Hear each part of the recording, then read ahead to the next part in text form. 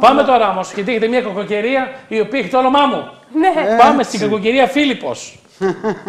Για πάμε, έχουμε Έκτακτο τον είναι. Γιώργο Παπακοστόπουλο στην τηλεφωνική μας γραμμή. Καλησπέρα Γιώργο. Γεια σας, Καλησπέρα στην ε, παρέα της εκπομπής. Καλή σαρακοστή. Ο Φίλιππος, ο συνονόματός σας, είναι πρώτον πυλών. Έχει αρχίσει ήδη να επηρεάζει τη χώρα Ναι. Μας. Πρόκειται για μια πολύ ισχυρή ψυχρή εισβολή, ίσως από τις πιο ισχυρότερες ψυχρές εισβολές που έχουν εκδηλωθεί μήνα Μάρτιο στη χώρα μας από τις αρχές του 21ου αιώνα. Μάρτης Γδάρτης δηλαδή. Μάρτιο γράτη και με μεγάλη διάρκεια κιόλας. Και έρχεται και από τη Ρωσία, λένε Θα μας τα πει ο κιόλας. μετεωρολόγος. Ρωσία. Ε, ο, ε, το, η ψυχρή εισβολή οφείλεται σε έναν αντικυκλώνα εμποδισμού, όπως λέγεται, που τραβάει αέριες μάζες από τη Σιβηρία προς την Ουκρανία, τη Μαύρη Θάλασσα και την περιοχή μας.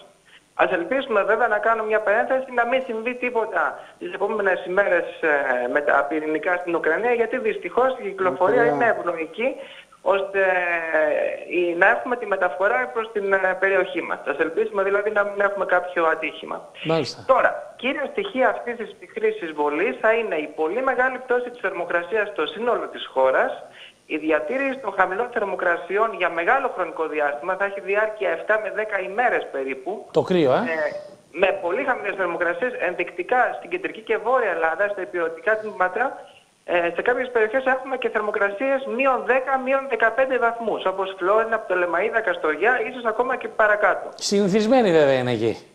Συνηθισμένη, ναι, βέβαια. Αλλά η μεγάλη διάρκεια είναι αυτή που κάνει τη διαφορά.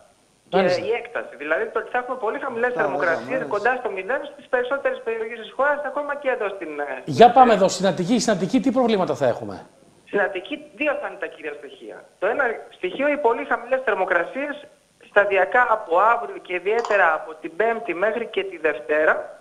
Ε, όλες αυτές τις μέρες δεν θα ξεπεράσει τους 8 με 9 βαθμούς. Τη νύχτα θα πέφτει κοντά ή και κάτω από το 0 στο μεγαλύτερο μέρος του νομού και ειδικά στα βόρεια προάστια και στα μεγαλύτερα υψόμετρα θα έχουμε και θερμοκρασίες και κάτω από το 0, κάτι που θα ευνοήσει τον παγετό. Και το δεύτερο στοιχείο είναι οι χιονοπτώσεις κατά διαστήματα. Οι οποίες αυ- ακόμα, επειδή τα στοιχεία είναι ρευστά, δεν μπορούν να, να, ε, ε, δεν μπορεί να ε, εξακριβωθεί αν θα είναι πολύ έντονες ε, ή όχι, αλλά το γενικό πλαίσιο δίνει ότι από αύριο την Τετάρτη θα έχουμε χιονοπτώσεις κατά διαστήματα στα ορεινά και τα ημιορεινά και μετά το μεσημέρι θα επηρεαστούν και οι κατοικημένες περιοχές του νομού με μεγάλο υψόμετρο. Όπως είναι δηλαδή ο Διόνυσος, όπως είναι τα Βίλια στη Δυτική Αττική και όπως είναι οι Ιπποκράτειες Πολιτεία στην Πάρνηθα. Από αύριο τη νύχτα και προς το ξημέρωμα της Πέμπτης οι χιονοπτώσεις θα κατέβουν και χαμηλότερα, επηρεάζοντας και τις περιοχές ε, του, λε, του λεκανοπεδίου της Αθήνας κατά διαστήματα. Ε, εδώ αξίζει να σημειωθεί δεν περιμένουμε να έχουμε ένα χιονιά ανάλογο με την ελπίδα με πολύ μεγάλα ύψη χιονιού που θα δημιουργήσουν προβλήματα μέσα στο λεκανοπέδιο. Άρα λίγο, χιο- Αλλά λίγο είναι χιονάκι θα χιόνι. πέσει δηλαδή. Θα έχουμε χιονάκι το οποίο κατά διαστήματα κυρίως κοντά, στα βόρεια προάστια. Δηλαδή από το ύψος ας πούμε του Χαλανδρίου και βορειότερα κατά διαστήματα μπορεί να είναι και πιο έντονο και μπορεί να δημιουργήσει και κάποια μικροπροβλήματα. Δηλαδή να το στρώσει κατά διαστήματα. Αυτό Ε, χαλάνδρι. Γενικά από, τη, από την Πέμπτη μέχρι και την Κυριακή το μοτίβο θα είναι, ε, θα περιέχει ε, ε, μεγάλες συναλλαγές, δηλαδή θα έχουμε διαστήματα με ηλιοφάνεια, διαστήματα με κλειστό καιρό, χιονοπτώσεις κατά διαστήματα.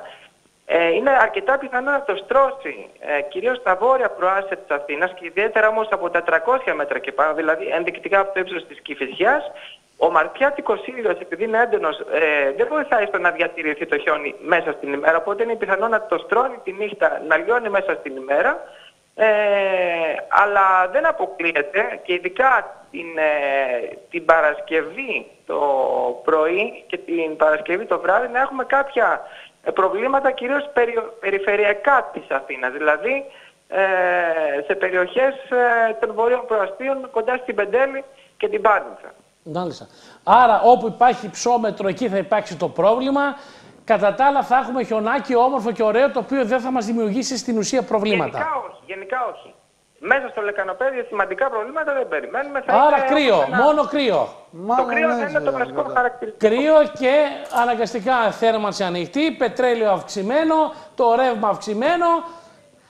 Θα, το, θα την πάθουμε από αλλού. Όχι από το χιόνι, από είναι- το είναι λογαριασμό και θα μας γεγονός ότι έρθει. Είναι και σιβηρικής προέλευσης ο χιονιάς, δεν είναι και, και τυχαίο. Μάλιστα. Ε, να, δώσουμε, να δώσουμε και το site παρακαλώ πολύ. Συμμετεώ.gr Μάλιστα. Όπου εκεί τα γράφετε όλα αναλυτικά.